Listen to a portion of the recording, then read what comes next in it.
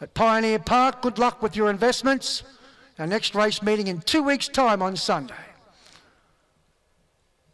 They all stand well for the last. Short price favourite is Altar Boy, who's drawn out wide. And away. Altar Boy began a little bit sluggish near the tail end of the field at the moment. Castlereagh Kid from the inside landed in front.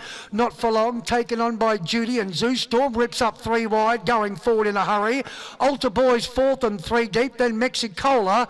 And last of all, near the inside was Judy. That's Valley Prince going up towards the lead. So in front, Zoo Storm's challenging Valley Prince, and Zoo Storm goes three quarters in front of Valley Prince uh, and now crosses to the rail. Third was Castlereagh Kid and out three wide. Altar Boy in four spot the favourite. Doing it the hard way at the moment. Mexicola second last and Judy's two lengths away last of all. In front Zoo Storm with a half length to spare from Castlereagh Kid. There's no change in the order past the 600. Altar Boy, the odds on favourite's getting a charm run. Third just behind the leading pair. Then Mexicola racing outside of Valley Prince uh, and Judy sees them all uh, at least six lengths off the leader. 400 metres left to run. They're about to spin the home bend. And in front was on the inside Castlereagh Kid, joined by the favourite Altar Boy. Zoo Storm still there. Then followed by Valley Prince and down the outside. Judy's coming with big bounds late. Castlereagh Kid in front, tackled by Altar Boy. Tackled in turn by Judy, who's coming hard. Altar Boy in front.